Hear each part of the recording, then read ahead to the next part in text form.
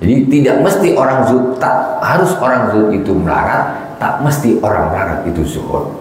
Tak mesti orang kaya itu mesti cinta dunia. Tak mesti juga orang cinta dunia itu pasti kaya. Kau boleh cinta tapi kau belum tentu bisa memilikinya. Sebenarnya cinta dunia itu tak ada gunanya. Karena kau cinta pun kaya apa belum tentu kau dapat. Gitu.